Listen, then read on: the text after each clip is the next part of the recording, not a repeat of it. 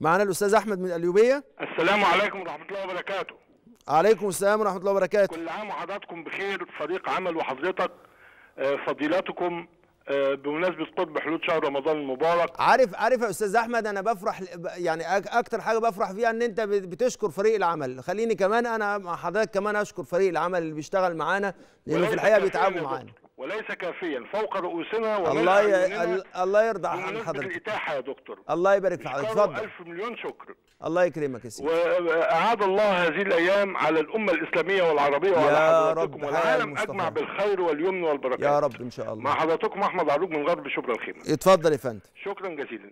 آه، نظر والدي نظرا إذا نجح أخي في الليسانس سوف آه، يصوم ما تبقى له من عمر. كله؟ كل يوم الاثنين وخميس. آه لا بحسبه كله كله كان لا يا طيب دكتور هو لا. سنه قد إيه ده النظر ده؟ آه، كان وقتها في حدود آه، 65 ولكنه أدركه الكبر. آه، فهو مش قادر يصوم خالص. وضاعفت صحته ولم يستطيع أن يستكمل هذا النذر. يعمل إيه بقى؟ أقول لك يعمل إيه يا أستاذ أحمد على طول دلوقتي. حالا. على طول الشخص اللي نذر النذر وعشان كده بنقول للناس ما تنز... بلاش حكاية النذر دي. الناس الناس بيخلطوا ما بين حاجتين ما بين النذر والصدقه يا سيدي تصدق زي ما انت عايز بس ما تن... لا تنذر لا تنذر ليه؟ لأن انت لو إنك انت نذرت النذر هيتحول واجب عليك. ولذلك انت لما تيجي ما تنذرش لكن إيه اللي حاصل؟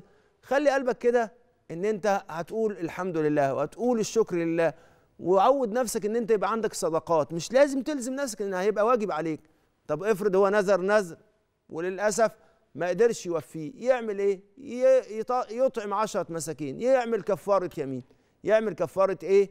كفارة يمين كأنه حلف وحن... و- وما قدرش يعمل الحلفان ودوت فيعمل كفارة يمين.